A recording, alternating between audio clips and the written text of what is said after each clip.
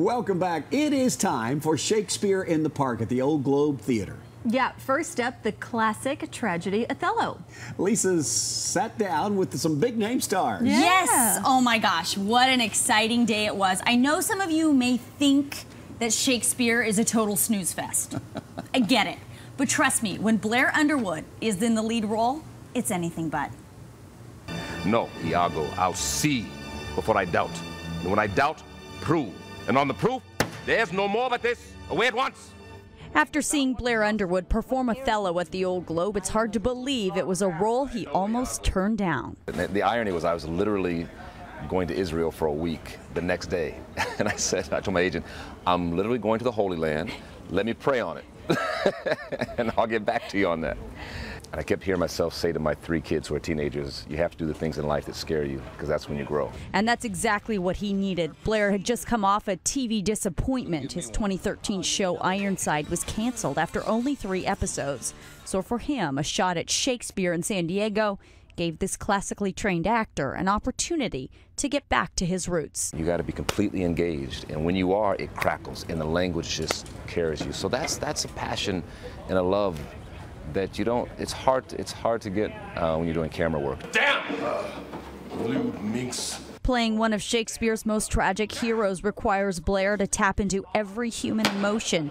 Emotions he says are relatable whether you lived in the 1600s when the play was written or you live in 2014. And whether it's love, hate, jealousy, um, betrayal, ambition, ambition, betrayal, all of those things, we all understand that. Um, the beauty of that is to bring all those those those emotions to the fore and have it draped in the, the elegant and eloquent poetry that is Shakespeare.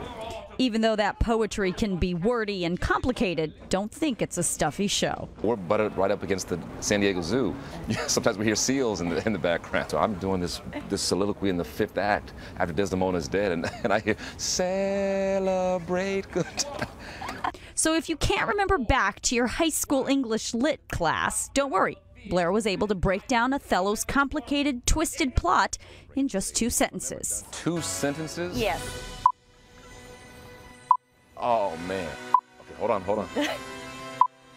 um, it is the dismantling of a Venetian general by